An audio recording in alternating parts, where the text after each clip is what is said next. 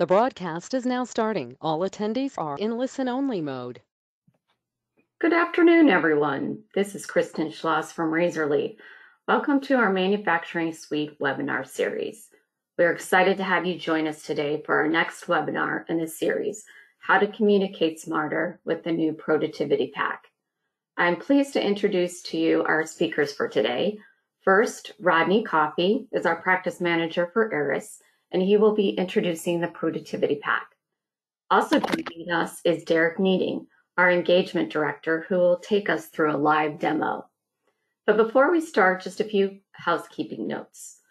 First, this webinar will be recorded and we'll be sharing this recording with all registrants. Also during this webinar, we value your opinions and encourage any questions. To ask a question, please enter them into the panel at any time. We will have a Q&A session at the conclusion of this presentation. So now I'm going to hand you over to Rodney. Very good. Thanks, Kristen. So good morning, good afternoon, everyone, depending on where you're at.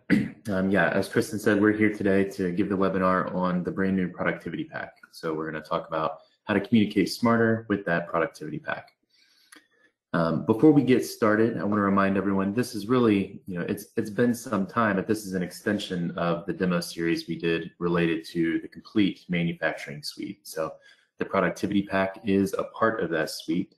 Um, if we take a look at our manufacturing suite diagram, um, just to give everyone a refresher, uh, last year we did uh, webinars around the change management, supplier management, and training management module.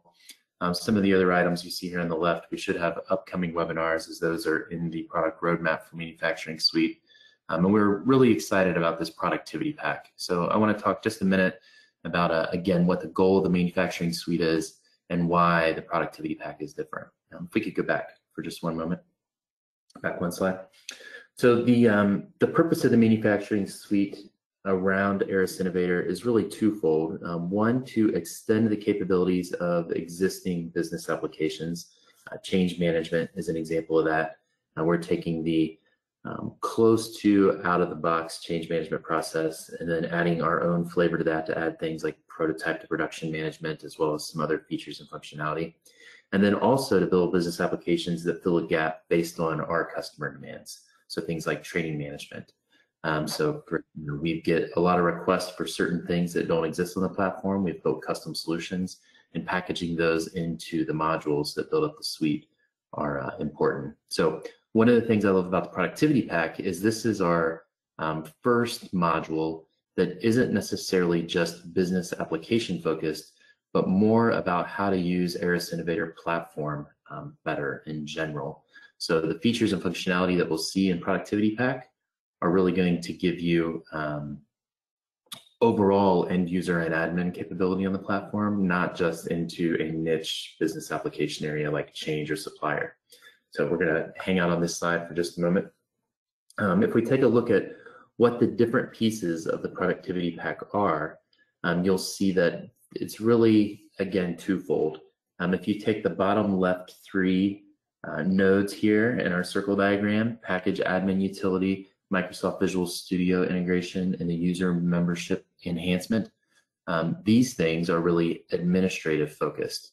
So these are tools that no matter how many business applications you have um, on Aras Innovator or what your adoption cycles look like, these are things that are going to help your admins um, do better development, more efficient management of the custom AML, custom code that you've developed, and then better um, ability to uh, port your packages from development to test to production. So um, I'm really excited about these things. These are things where you know we say drink your own Kool-Aid. These things to the bottom left are all things that our team is actually using on a regular basis in our consulting engagements, and now we're able to package these up and bring that uh, value to our clients. The top three right modules, out of office delegation, Microsoft Teams integration, and workflow and assignment management, um, where again, things, features similar to the things we've done in other modules, um, but again, affect the whole platform.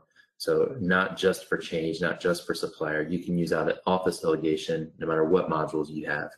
Uh, Microsoft Teams integration, while it's closely related to the project management um, workflow in in Aras, that's how we're kind of seeing our customers look at that. Um, it could be used abroad just to enhance the communication cycle as everyone adopts Microsoft Teams. I think I know we've adopted it and the majority of our customers have adopted it at this point. And then just general workflow and assignment management. So anywhere you have a workflow under any of the business applications in Aras, um, this will come into play. So again, not, not business application features like change, supplier, or training where um, these things can be used all across your Aras Innovator environment. So um, if we take a look at these things specifically, uh, Derek's going to do you know a great job going through the technical demonstration. Him and I have been through this with a few early adopters and some other clients. Um, but these are some of the key advantages, key features, and functionality uh, that you will be taking away from that. So I know we've got a a lot of uh, um, a lot of value that we're going to see in the technical demonstration, and there is a lot of content to get through, um, in particular with the productivity pack. So I'm going to pass it off to Derek, and we're going to get right into it, and then we'll try to leave some time for questions at the end. Great, thanks, Rodney. Let me um, switch over to my screen so we can watch the demo here. So we're going to kind of do the demo like Rodney described it, showing just kind of the different modules. We'll stick with kind of the user management modules. We'll look at some of the workflow related modules. We'll look at some of the development and administration modules. We'll kind of do it in that order. We're going to um, start with one of the user management modules, and that's out of office delegation. I think the use case for out of office delegation is really pretty straightforward.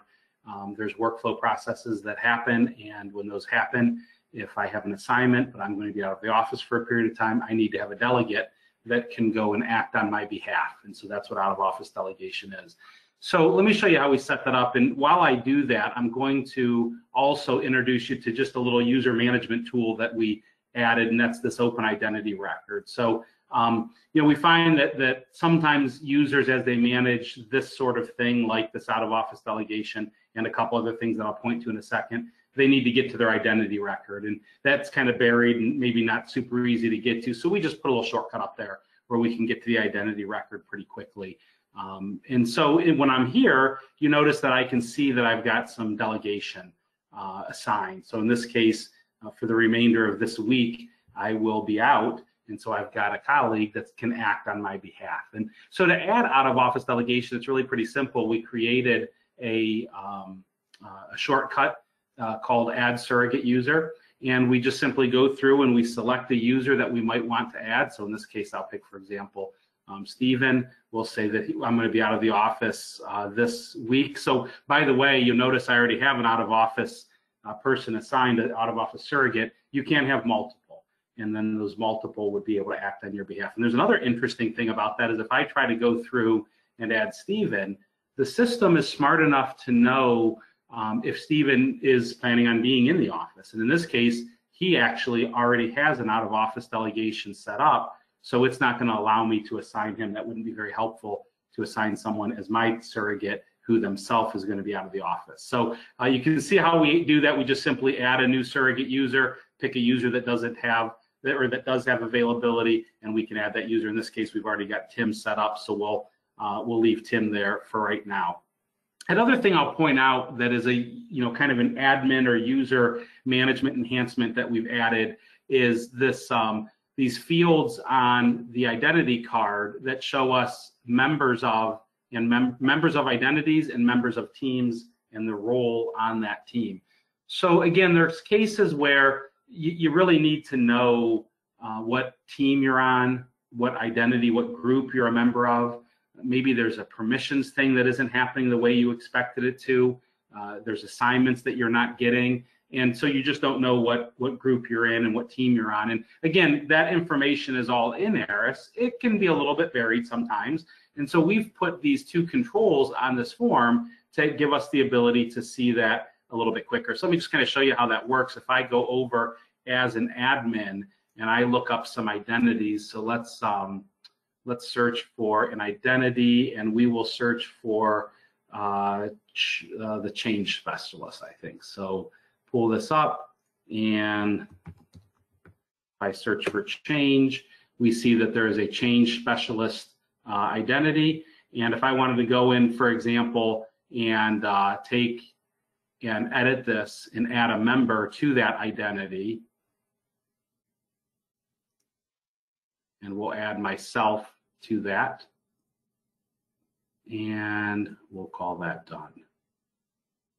So now I would, of course, receive additional permissions and behaviors and those sort of things because of that identity that I'm now a member of. So if I were to go back and open my identity record, we would notice that it's very easy. Oh, let me close this window down. We'd notice that it's very easy for me to see that I now have membership in additional places. And so again, just kind of a quick way to get to something that we find is very common. Uh, as Rodney mentioned, this is something that we tend to add as we're doing consulting engagements with customers because it's just needed. It's the sort of thing that you need as you go through and you roll out the solutions and set things up. And so it's just kind of a nice way to be able to get to, to different things. Same thing over here. You know, this shows me the teams I'm a member of as well as the role that I'm participating in within that team. So similar to identities, but just a different way to look at that. I am going to go through, by the way, and just remove this out of here just for fear that it uh, doesn't change something in a workflow. I haven't vetted all the workflows completely to know that it wouldn't cause a problem. So we're going to move that out of there. All right, so let's talk, uh, let's get into workflow and talk a little bit about um, some of those things. But before I do, there's actually one other thing I want to touch on that wasn't uh, shown in Rodney's slide uh, show. I don't know if we just missed it or maybe it's going to be a surprise to Rodney, but it's another feature that we have within uh, that's kind of an administrative feature. And it's this feature called required item type. So we've created a new item type uh, inside of uh, Innovator called uh, required item type properties. And so here's the scenario. You've got a uh, an item type and you've got a property on that item type and you want that property only to be required in certain situations. For example, the situation might be that if the part is of classification component, then the description is required, but if it's of classification assembly, then the description is not required. And so to do that normally, you would have to write some code to do that. And if that logic changed over time, or if you wanted to apply that same logic to multiple item types, you'd have to go and, and kind of reapply that code. Well, we've added the ability to do that just through this very simple administrative portal. So I can simply create a new uh, object here, say that it's for the part item type and it's the component classification, and then I can go down here and start to set the description field is required on save. Effectivity date is required on workflow. We'll get to that in a second. Let's focus on this uh, description field for a second. So what that means is what happens is if I go in now and let's go into creating of a new part and we create a new part and we'll call this part uh, PRT dash 115.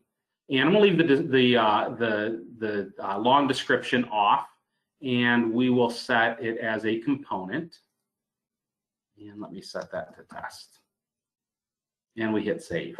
And so because it's a component and because of that setting that we were just looking at, the, uh, the, the enhancement that Razorleaf offered, we now have that this field is now required. So the description field is required, but it's not a required field, if you went into the item type definition and looked at that property, it would not be set as required. Instead, it's just required in this one scenario. So if I go in and say, well, instead I want to make this an assembly, well, then all of a sudden the description is no longer required. Change it back to a component. And if I do that and try to save it, then once again, it's going to run through that logic and determine that that field is required. And it will greet me with a message box that says that that's something that I can't do because of that. So it's a very easy thing to set up. It's a very easy thing to turn on and off. I can come in here and simply um, uncheck that and it's no longer required. So again, the code is already written for you. We've written the code, wrap this interface around it so you can make these change very these changes and enhancements very quickly and uh, very easily. So we'll discard that change and we'll close this out. So that's kind of a neat little thing. This required on effectivity, just kind of make a mental note of that. We're going to come back to that in a second. But basically what we're saying here is that um, the uh, uh, effectivity date is going to be required at some point in the workflow. So at some when we get to some point in the workflow, the effectivity date on any part that is of the component classification, it's going to be required within the workflow. All right, so let me see here. Let me just, uh, I am going to go ahead and create a new part that we're going to use in a workflow in just one second here. So let's create one. We'll call it test part, and we'll go ahead and give it a description since it's going to bark at me if I do not. We'll make it a component. and we'll add this thing because we're going to need this part within a workflow in just a moment anyway. All right, so let's talk a little bit about some workflow assignment and some workflow capabilities that we have uh, as part of the productivity pack. And um, so the first assign, the first uh, enhancement, well, let's do a couple things to make this a little more visible. I'm going to go through and open up the workflow map. And these ones uh, happen to be associated with the ECO workflow, the Express ECO. So we'll look at that workflow map. And um, in order to explain it a little bit better, let me actually create an ECO workflow so we can look at the screen of the ECO workflow.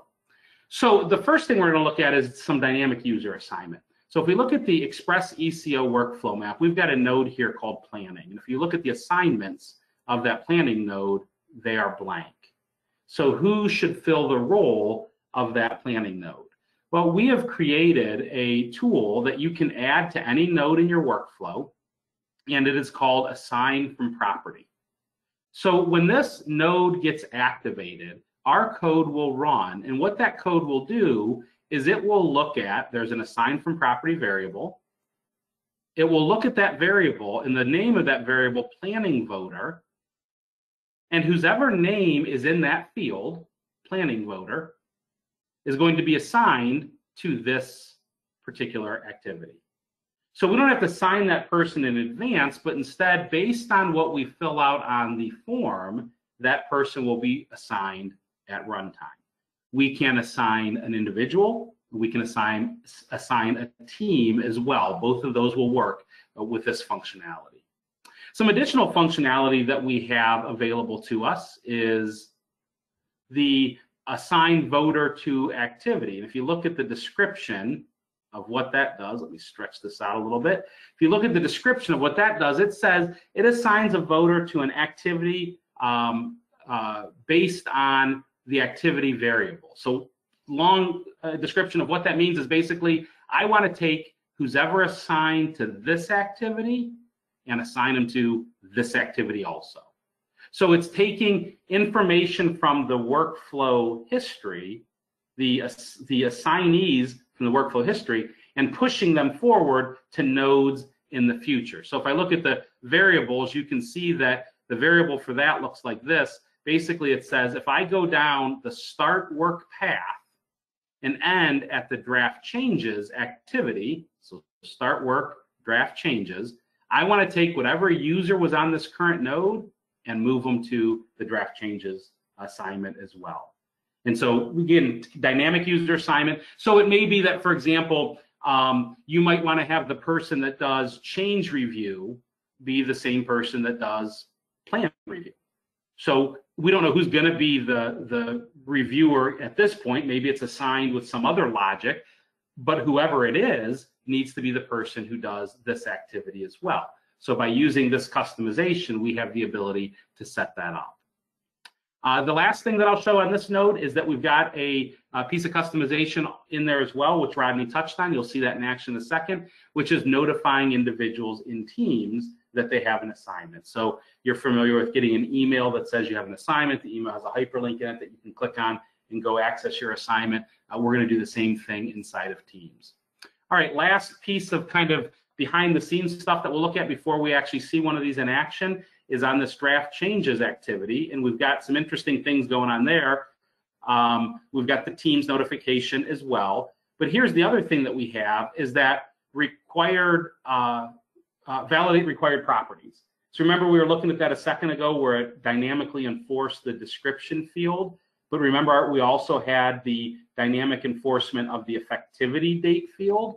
So on this activity, when you go to vote on this activity, it is going to look at all of the parts that are attached that are of classification component, and it's going to ask me to put an effectivity date on those parts. So we can decide at what point in the workflow we want to do that, and we can decide what fields we want to make required at those points in the workflow. And again, all of this is done by simply assigning these already pre-built methods to these events. And then there's some variables sometimes that you have to set up in order to uh, configure the method, but there's no coding that you need to do to do that.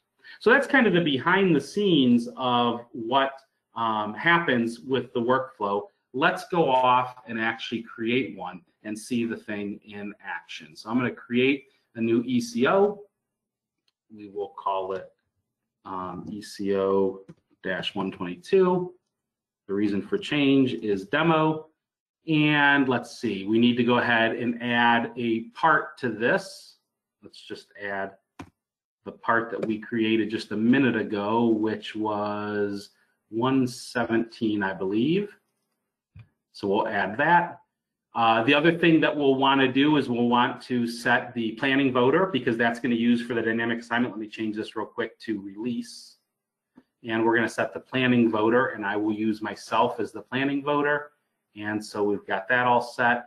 I think we are good. Let's go ahead and be done with this guy. So what should happen is this should, well, first of all, it's going to allow us to initiate and send this workflow off. And then the first user will get it who happens to be the planning voter. So let's do that. We're going to go to the sign offs tab and we will send this thing on its way. Let me just show you another enhancement that again, Rodney didn't touch on, but it's just kind of a little thing that's neat. If I choose to cancel the change, um, we've added an enhancement that allows us to configure the system that you have to put a comment in. If someone's going to cancel, we want to know why they're canceling.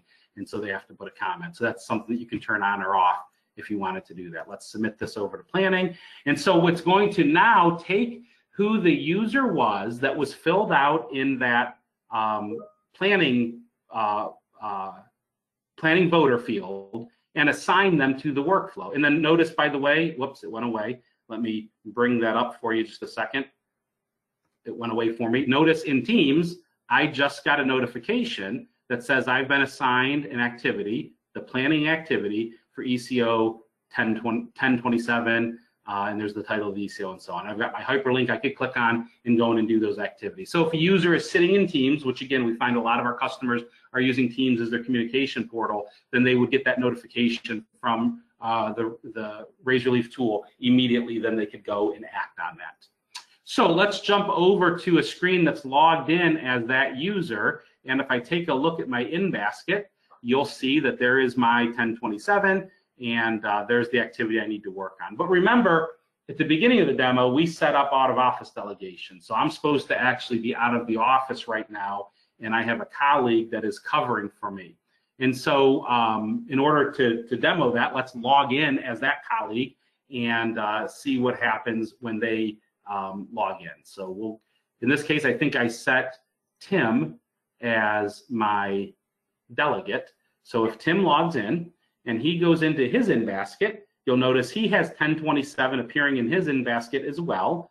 And if he opens that up, he can look at the sign off and he notices that it, even though it's assigned to Derek, it's showing in Tim's in basket because he has been authorized to approve on my behalf during this period of time. And of course, that out of office delegation, once you set it, um, you know, the start date and the end date, once that end date ends, well then, you know, it, it will no longer uh, provide the functionality that we're looking at right now.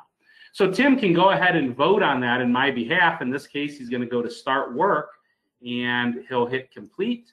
And when he does that, again, real quick, notice in the lower right-hand corner, you see that Teams notification popped up. So I got notification of that. But here's the other thing that's kind of neat. Notice that the assignment, even though it was assigned to Derek, Tim is the guy who completed it. Now, of course, it shows right back up in Tim's in or in Derek's in basket, which Tim being my delegate, he sees it as well. But this is kind of neat too. Notice even though Tim completed it, who's it get assigned to? Well, it gets assigned to Derek, not Tim even though Tim completed it, we want to make sure that the next assignment goes to the person who is defined in the workflow map. Because again, if this maybe came out on a Friday afternoon and then I'm back in the office on Monday, well, I don't want it to go to Tim. I want it to go back to the person who was originally assigned, and then we'll worry about the out of office delegation kind of behind the scenes. So you can see that now it has went to Derek. I'm gonna log out and log back in as Derek and assume that we're back in the office. And so if I go into my in basket, we can find that work item. And if we look at the sign offs, we'll see the same thing we saw just a few moments ago. We're currently in the draft changes activity. If I vote and I say that that looks good and we'll submit it for review, I think that's the path I want to go down. Let me just look at my notes real quick. Uh, submit to review. Yep, that looks good. And we'll go ahead and hit complete. And so when I complete this activity, another thing's going to happen. Remember what we talked about earlier about the effectivity date.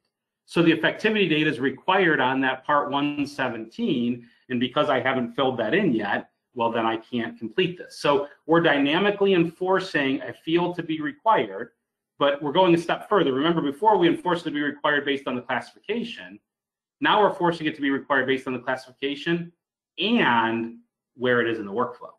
So all of that comes into consideration in order to uh, control that. Here's the cool part. Look how easy it is to configure those sort of things. Let's say that that was in, we wanted to make a change. That's not our business process anymore. We don't really want it set up like that. So the administrator doesn't have to go in and write a bunch of code or make changes, you know, heavy uh, changes to anything. Instead, he simply comes in here and he says that is no longer required on workflow. He'll save that, be done, and if now, if I go back to here and hit complete, voila, it's done.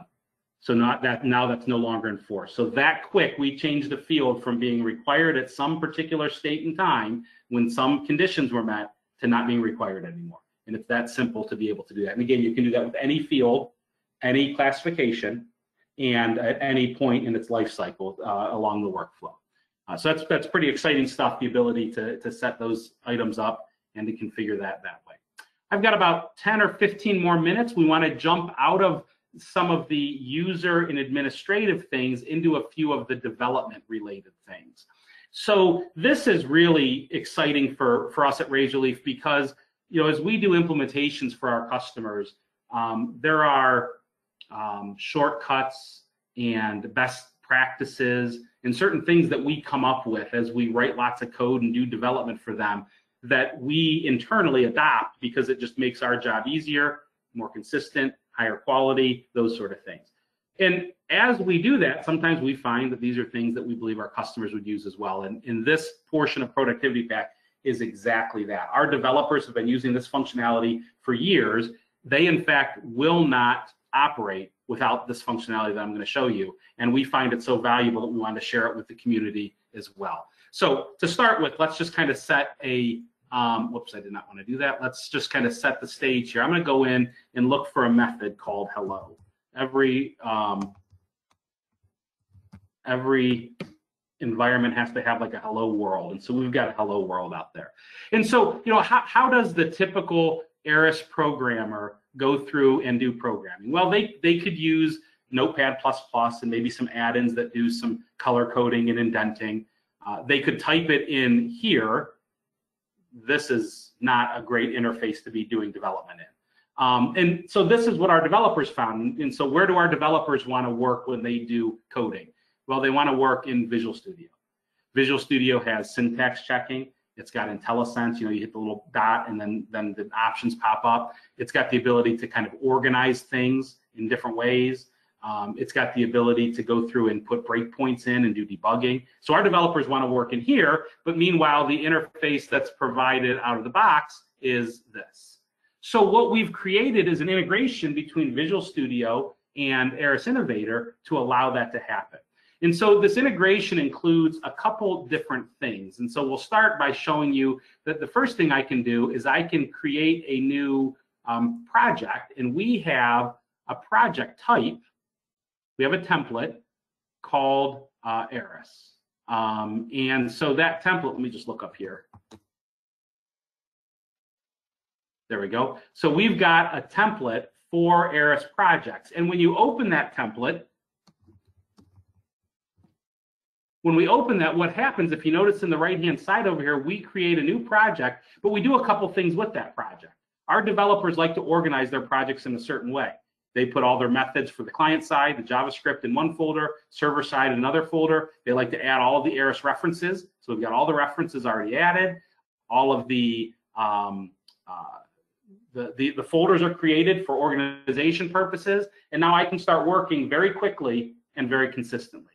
The other thing we did is we've added a config file. And that config file has a couple different settings in it. It has server and development server settings. So these are the settings that allow me to connect to the Aras database in order to put stuff in the system, put new methods in the system, and get methods out of the system. So I can go back and forth to Aras. I set this configuration up, and I can use two different servers if I want. I can have a dev server and a production server. And I can go through and grab stuff off of the server, put stuff back in the server, lock, unlock methods, and those sort of things right here from inside of um, Visual Studio. So I don't ever have to operate in this interface here ever again. This interface is there if I want to come and look at it, but I'm going to live inside of the real development environment, which is Visual Studio. So let me show you some of that in action. So um, the first thing is we've got a method here called hello world. And the hello world method has a spot here, which we'll get to in a second, which is uh, debugging. Um, let's just make a change. Don't worry about what the line of code says right now. We'll come to that in a second, but let's just make a change. So I want to make a change to that method. And if I go into the tools and I'm sorry, extensions, Aras, I have the ability to lock the method on the server. So I'm going to um, you know, check it out so that I can start working on that method. I have the ability to, once it's locked, I can go through and save it to the server. And then if I choose to, I can go through and unlock that method on the server. All right, let's jump back to the server real quick and look at something. So if I re-pull up, first of all, notice that this is at uh, version 13. Let's rerun that search. It just jumped up to version 14 because of those changes I made. And if I go into that method and take a look at it, you'll notice that the debugging line of code is now commented out because I just did that change.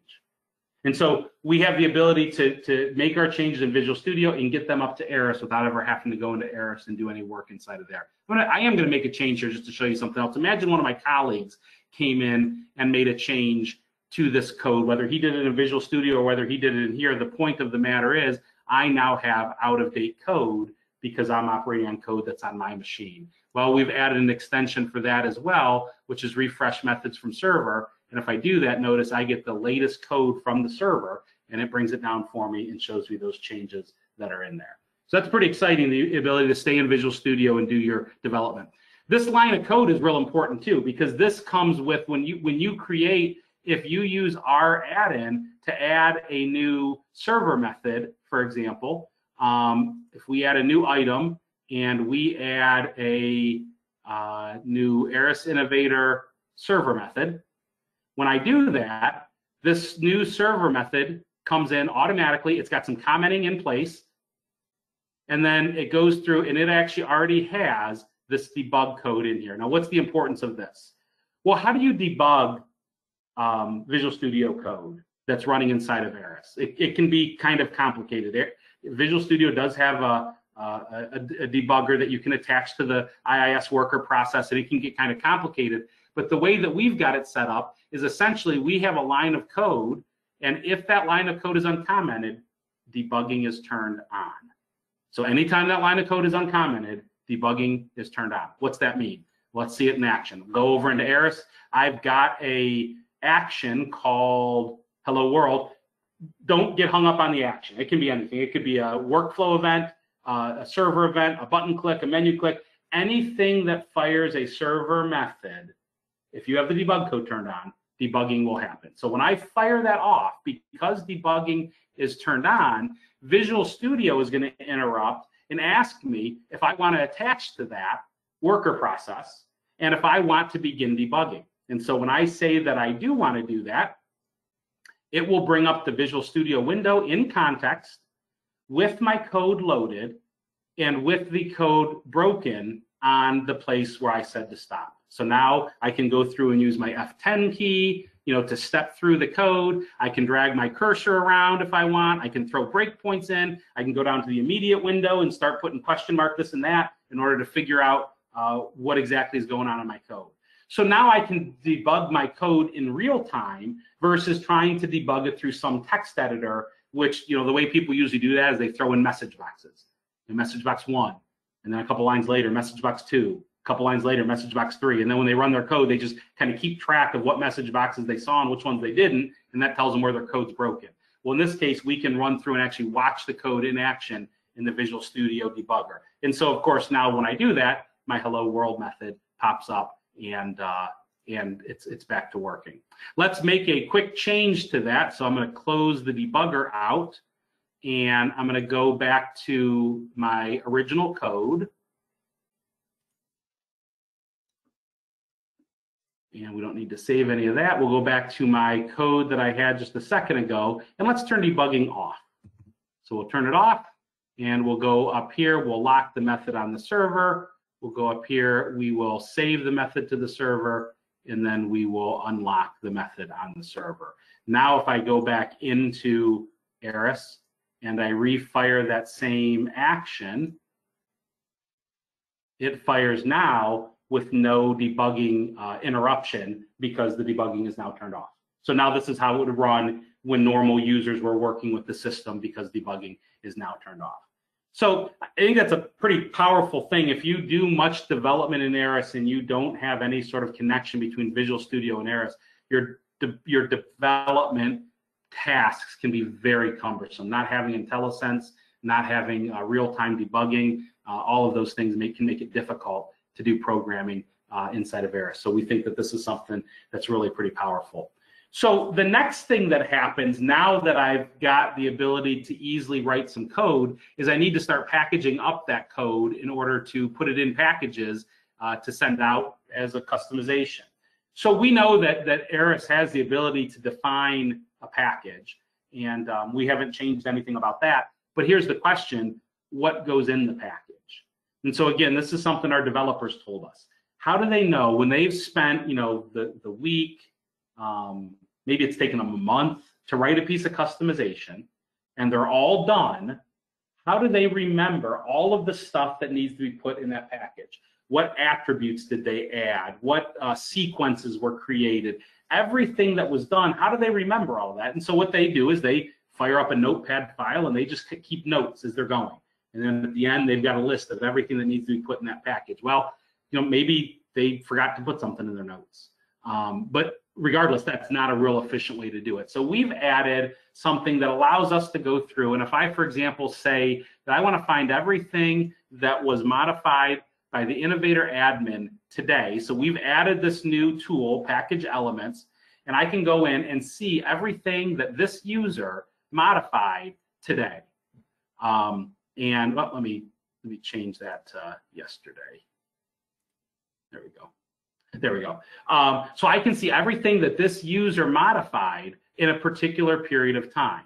And we can see that, you know, an identity was modified, an item type was modified, all that information is being reported back to me. So let's, for example, imagine that hello world tool that we just wrote. Let's imagine it needed a sequence also. So it's not hello world, it's something else that needs a sequence. So here I am, Mr. Developer, and I go through and I say, well, I need to create a new sequence because my tool that I'm writing needs a sequence. So I go off and I create a new sequence and I call it um, RL hello world one. And we'll make it uh, RL, we'll make it uh, a pad with zeros, pad to six, and we'll step by one. All right. So we now have new sequence out there. And I go in my code and I do whatever I need to do inside of my code to utilize that sequence and everything's working and I test it and it's beautiful. And now here we are a month later, I'm done with my code and I'm ready to, to send this thing on its way. How do I remember that that little sequence that took me less than 30 seconds to create, that that's something that I need to package up? What if I forget it? And I deploy my package on another environment and it's running and it fails because the sequence was missing. Um, so what we can do is I can have in the system the ability to go in and say, let me find everything that was changed by this user on this date. And look at that, the sequence was changed. So I changed the method and I changed the sequence. And if I went through and made a field require a property required on an item type, that would show up in here. If I went through and made uh, changes to a user, that would show up in here. And I would see all that information. I actually get to see also if the, the piece of uh, uh, Aras that I modified is already in a package or if it's not in a package. So if it's not in a package, then I can go through and, whoops, um, I can go through and choose to add it to a package and I can start to create my package. So when it's all said and done, everything that shows up in my list should be in a package that I can then go ahead and send out. So again, hugely powerful for our development team as they go through and make these customizations for our customers. Uh, if it takes them just a couple seconds, well, then it's usually not that difficult. But when these things stretch into a couple days or even longer, trying to remember everything that uh, that they worked with can be challenging. So I'm done with my demo portion. Let me just do a quick summary of the things that we saw just to, to refresh everybody's memory. Uh, number one, we looked at the out of office delegation. Along with that, remember we looked at some of the user uh, identity card enhancements, those two controls that we added that allow you to see the um, members, the membership that that user has. Uh, we also looked at some of the workflow assignment, the dynamic assignment based on a field on the form, the assignment based on who completed a previous task. We looked at the enforcement of uh, uh, required field based on the component type or based on where it was in the workflow. And then finally, we looked at some of our development tasks around the Visual Studio integration and also the package uh, wizard, uh, the package elements enhancements that we added as well. So those are things that, again, our users, our uh, users and, and consultants find extremely helpful, and we trust that you would find them helpful as well. So with that, I'm going to turn it back over to you, Rodney.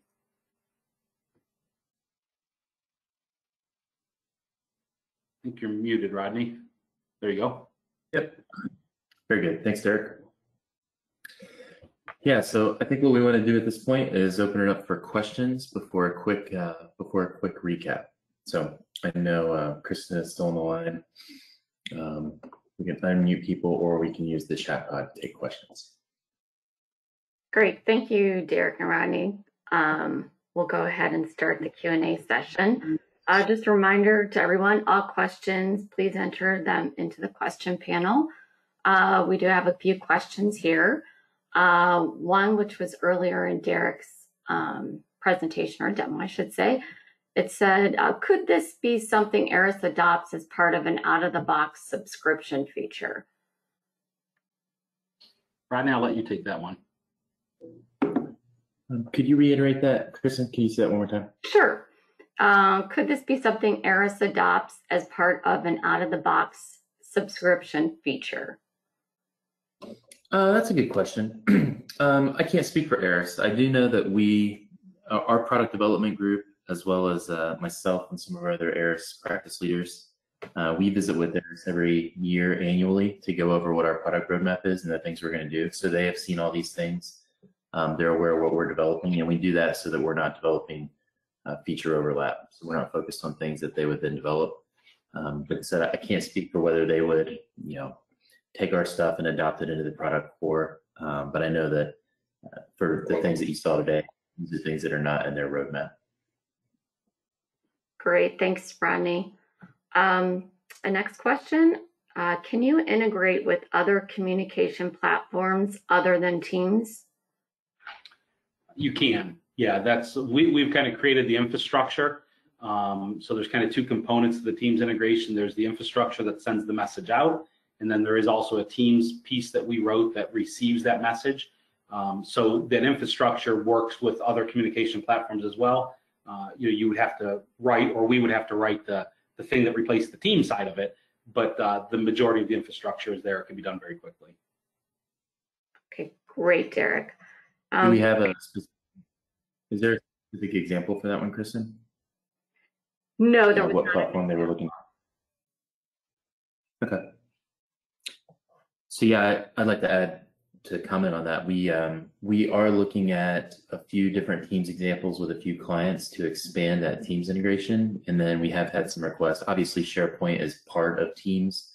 Uh, we've had a long-standing SharePoint integration using the Clover integrated platform, so we are looking to sort of merge those things uh, just because Teams does that naturally as well.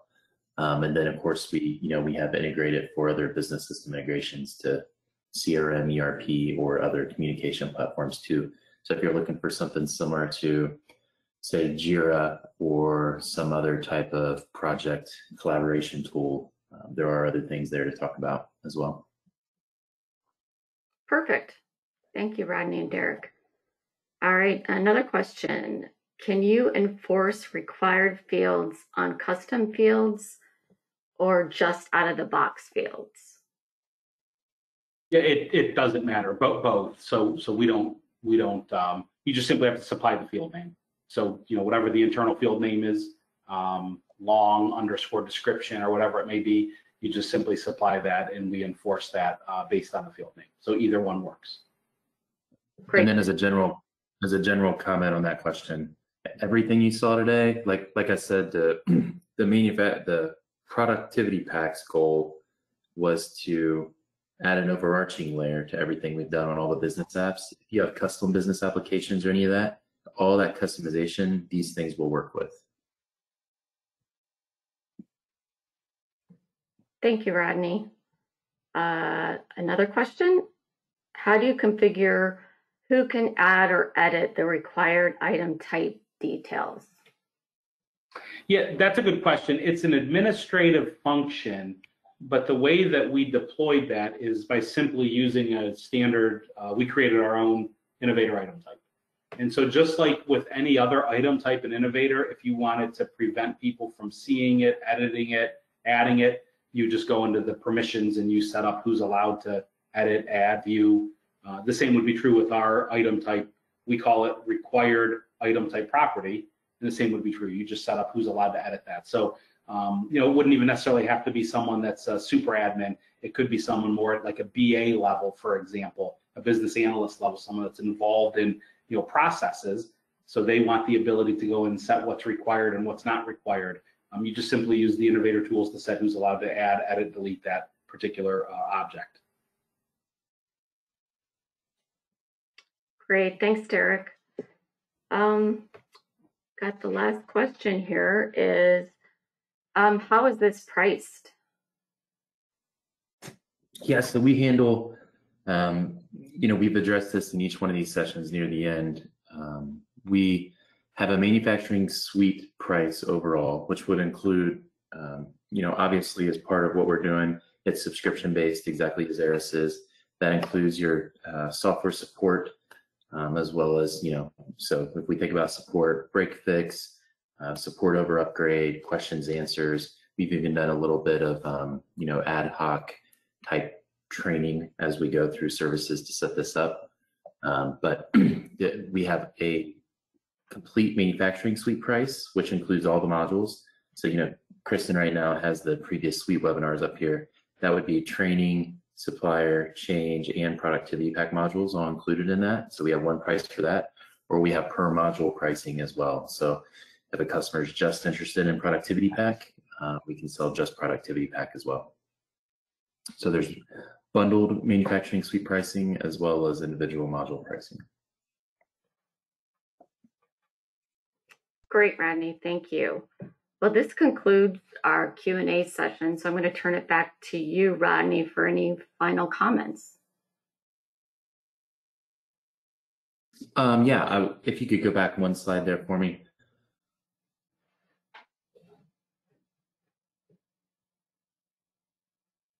We're all, uh, yeah. so, yeah, I just wanted to remind everybody that uh, today's recording, uh, today's session for the productivity pack will be recorded. Uh, we've got a pretty good website our marketing group has stood up that actually will give you a pretty quick link to all the webinars that we've done underneath the, the manufacturing suite. So if you are interested in going back and looking at the overview we did of the suite or any of the individual modules, all those videos that Derek and I have done are, um, are up there hosted. Uh, we're sharing those with a lot of new clients if you want to go back and revisit a particular part. And then if you have any questions, um, I know we have a, a, published price list for this. So if there are people that are interested and you're interested in what the pricing is, I can you know, email me. I can submit that out to you guys. Um, and then, like I said, we have, you know, we're doing a lot of creative things with new early adopters. So we have a handful of clients right now that are um, looking or have purchased productivity pack. And then, of course, we have some manufacturing suite customers from last year that have already gotten the productivity pack that are working through it. So um, really interested in getting this in customers' hands. That way you guys can help us use it, test it, make it better, um, get that feedback into our portal. So as Kristen, you can go to the next slide.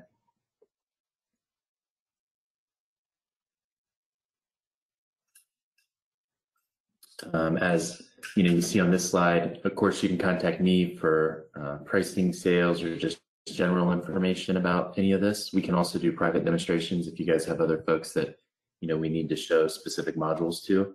but we also have the Aras community at razorleaf.com.